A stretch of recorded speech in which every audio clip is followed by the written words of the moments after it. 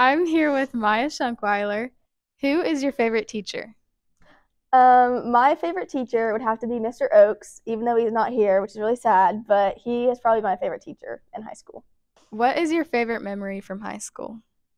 My favorite memory of high school would probably be homecoming this past fall whenever I was voted as queen, and it was just a lot of work, but it was a lot of fun. What are your future plans after high school? Um, after high school, I plan on attending Marshall University in the fall and then going into nursing school and becoming a labor and delivery nurse. Okay, thank you, Mya. Make sure you put that part in.